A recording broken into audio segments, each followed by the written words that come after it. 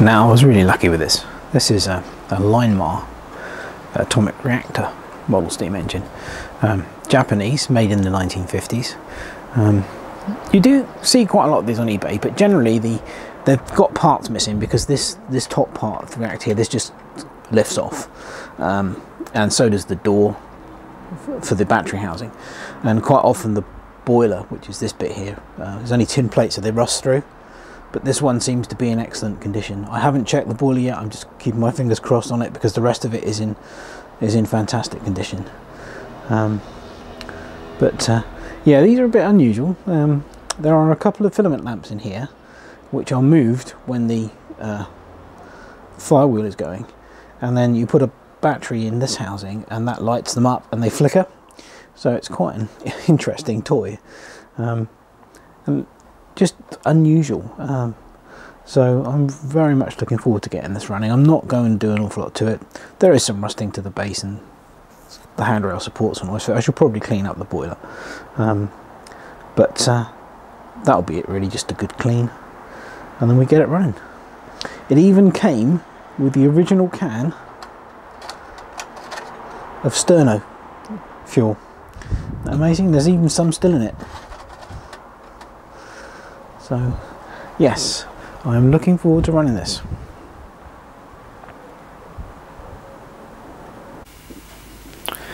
Well, I think you can tell that the um, the Linemar atomic reactor mold steam engine has responded very well to a bit of spit and polish. Um, the boiler cleaned up very well. Um, so did the base. Um, there's still a little bit of corrosion here and there on the base, but it's definitely only minor. It's not worth attempting to strip it right down and repaint it because most of the paint is actually in very good condition, as you can see here. You can see some corrosion. There's a little bit of rust down in there, um, but this all cleaned up very nicely. Um, uh, yeah, it, it, did. It just cleaned, it cleaned up very well indeed. Um, I put some water in the boiler and so far it seems to be watertight. So obviously we haven't heated it up yet, but uh, um, we, we, we will do that. Uh, and um, hopefully this should be a runner. But it does look very nice, doesn't it? Uh, you could you can see this appeal. This this would definitely appeal to the kid to the kids at the time when this was made. I think these were made in the um, 60s, 70s. I think I'll need to check that. I'm not really sure, but uh, yeah, it's an interesting. These are interesting, uh, interesting models. Um, you know, they are built down to a price. Um, obviously, there's a lot of plastic used, um, but uh, no, I uh, I'm quite looking forward to uh, to steaming this. Um, so uh, let's do that right now.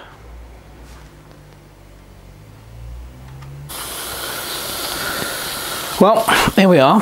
Um, the original can of didn't really want to play ball, so I've got a couple of Mammoth fuel solid fuel tablets in there, providing the motive for heat.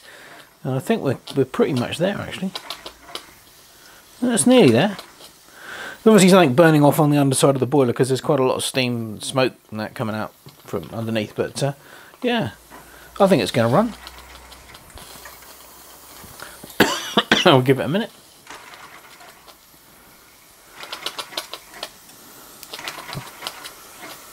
Certainly try.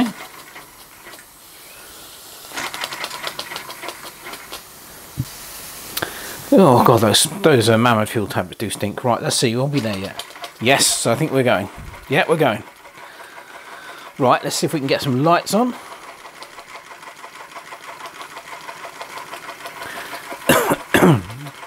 and there you see it.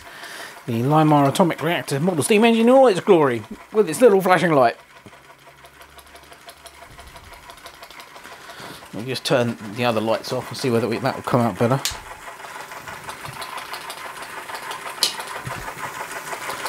Oh yes, look at that, isn't that amazing?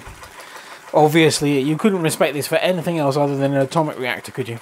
Because they all have that little red light that bounces up and down inside.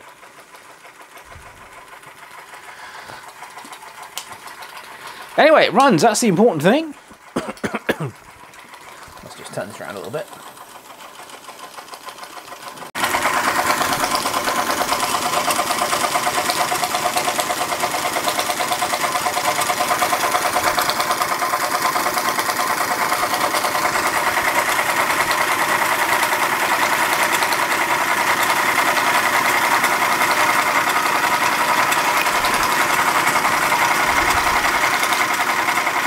Runs very well actually, and, uh, and very quiet.